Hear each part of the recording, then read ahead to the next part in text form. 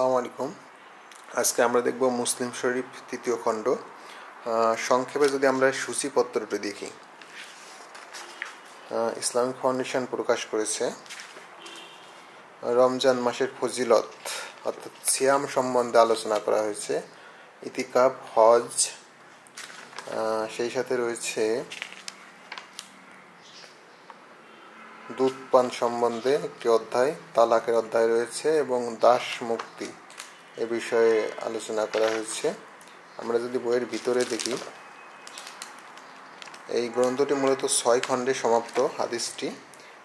এই হাদিসটি প্রকাশ করেছে ইসলামিক ফাউন্ডেশন।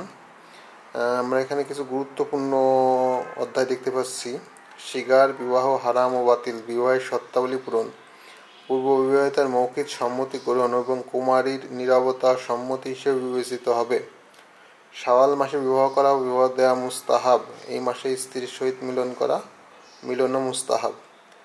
কোনো মহিলাকে বিবাহ করতে চাইলে বিবাহের পূর্বে তার মুখমণ্ডল ও হস্তদায় এক নজর দেখে নেওয়া উত্তম।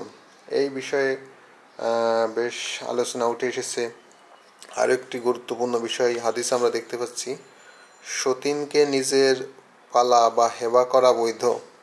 কুমারী বিবাহ করা মুস্তাহাব মহিলাদের সম্পর্কে ওসিয়ত।